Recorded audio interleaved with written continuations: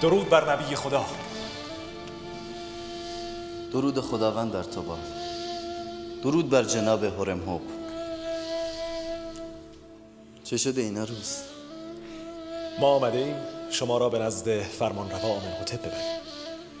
جناب هرم هوب فرمانده محافظین قصر برای همراهی شما آمدند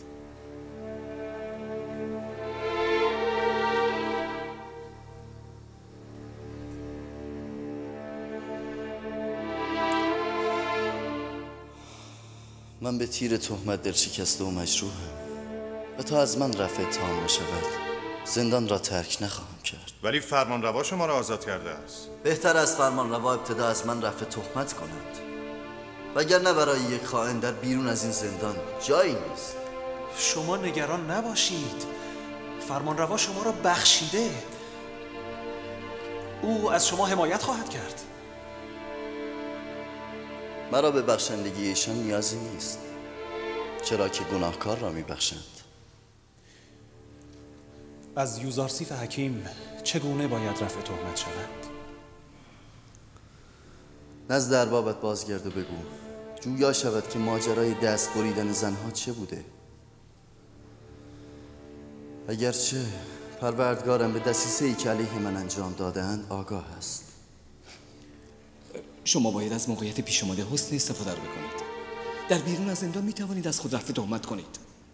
به فکر آزادی خود باشید.